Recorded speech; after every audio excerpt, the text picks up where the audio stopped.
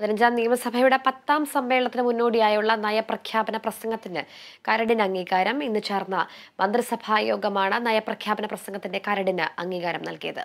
തുടർന്ന് രാജ്ഭവന് സമർപ്പിക്കുന്ന കരടിന് ഗവർണറുടെ അംഗീകാരം കൂടി ലഭിക്കേണ്ടതുണ്ട്. ഭേദഗതി ഒന്നുമില്ലെങ്കിൽ ഈ നയപ്രഖ്യാപന പ്രസംഗത്തോടെയാവും സഭാ സമ്മേളനത്തിന് തുടക്കമാവുക.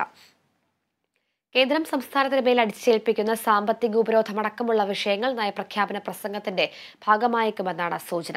നേരത്തെ പൗരത്വ ഭേദഗതി അടക്കമുള്ള വിഷയങ്ങൾ നയപ്രഖ്യാപന പ്രസംഗത്തിൽ ഉൾപ്പെടുത്തിയത് ഗവർണറും സർക്കാരും തമ്മിലുള്ള അഭിപ്രായ വ്യത്യാസങ്ങൾക്കിടയാക്കിയിരുന്നു. ജനുവരി ഇരുപത്തിയഞ്ച് മുതൽ ഫെബ്രുവരി പതിനാല് വരെയും ശേഷം ഫെബ്രുവരി ഇരുപത്തിയാറ് മുതൽ മാർച്ച് ഇരുപത്തിയേഴ് വരെയുമാണ് ഇക്കുറി സഭ സമ്മേളിക്കുക.